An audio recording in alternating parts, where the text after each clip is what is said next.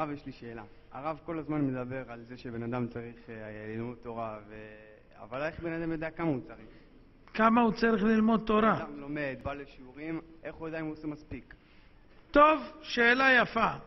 קודם כל, כמה שאתה צמא אתה צריך לשתות, כן? דבר שני, גם אם אתה לא צמא, כדי שלא תתייבש, צריך לשתות. אז יש בן אדם שבאורות, בהתחלה אחרי איזה סרט, יכול ללמוד כל היום ואחרי שבועיים ליפול. זה לא עוזר. קודם כל, מה שאתה שותה ואוכל זה טוב ובריא. אם תיפול אחר כך, אז תיקחו אותך לבית חולים, ואחר כך תמשיך לשתות ולאכול.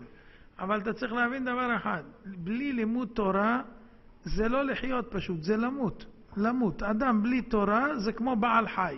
בעל חי, מבחינתנו, זה לא חי. אתה מבין?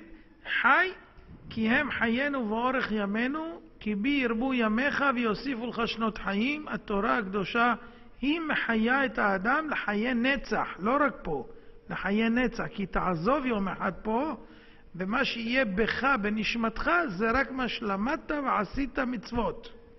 אז כמה שאתה מטעין את עצמך, ככה אתה תאיר למעלה. כמו בטריה שממלאים אותה, אם היא פול, מאירה פול. הבנת?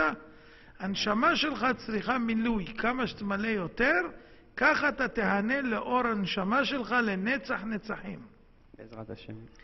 אתה רוצה גם כן ציצית? מגיע לך, בוא.